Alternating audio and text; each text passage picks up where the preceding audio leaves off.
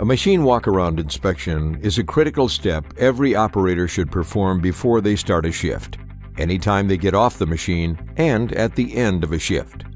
When performing a walk-around inspection, it is important to utilize a checklist or the CAT inspection app. Without a checklist, minor problems may be missed and become major problems, taking both the operator and the machine out of the production environment. To ensure that no part of the machine is overlooked, this walk-around inspection will be arranged in two categories, ground level and inside the cab.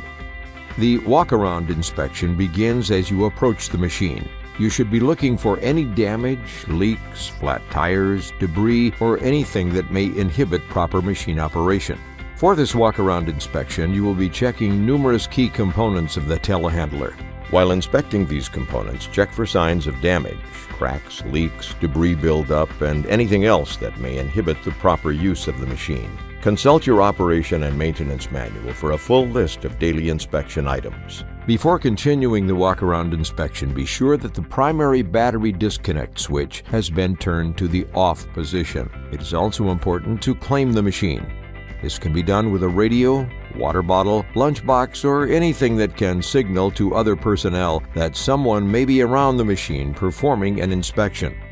The ground level portion of our walk around will start at the front left solid tire. Make sure to check the lug nuts and tire tread. If the machine is equipped with pneumatic tires, be sure to check the tire pressure and sidewalls for damage.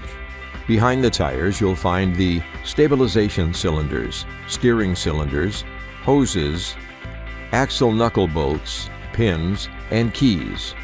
All tire checks should include a check of these components.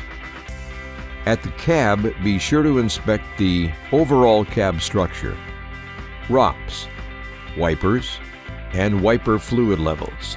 Next, in the compartment below the cab, you'll find the primary battery disconnect batteries and ground wiring, DEF fill cap, and fuel cap. Behind the cab, you'll find the cabin air filter access and cabin heater air conditioner unit if equipped.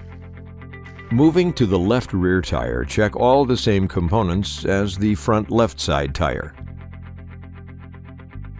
At the rear of the machine, we'll be checking the counterweight, rear camera, work lights, and if equipped, reverse lights. Moving to the right side of the machine, first we'll check the same components at the rear right side tire. Behind the right side tire, you will also find the LSI, or Load Stability Indicator Sensor. Continuing on the right side, you will have access to the engine compartment and many key components to check, including the cooler, transmission filter, fuel water separator, oil filter, oil level checks, oil cap, air filter, AC compressor if equipped, hydraulic fill tube, and exhaust. Continuing at the right side front tire, check all the key areas you've looked at on the previous tires. Behind the tire, you will find the engine air intake, hydraulic gauge sight glass, and boom lights. At the front of the machine, you will find the stabilizers, stabilizer frame, if equipped, boom head, and boom chains. At the forks, check the following for cracks or damage. Placement backrest, carriage, bolts, fork bar, forks, and coupler. Continuing from the forks, if the machine is equipped with hydraulic carriage, be sure to check the hydraulic lines. Now that we've completed our ground and machine level inspections, it's time to head inside the cab. Don't forget to always utilize three points of contact when climbing on or off the machine. In the cab, check the seat belt to ensure it hasn't expired. Check that the controls are in working order and can move properly. Adjust the seat and steering wheel to ensure comfortable operation. And finally, check the overall cleanliness of the cab. The walk-around inspection is now complete. Check your surrounding before moving the machine, honk the horn, and you're ready to get to work.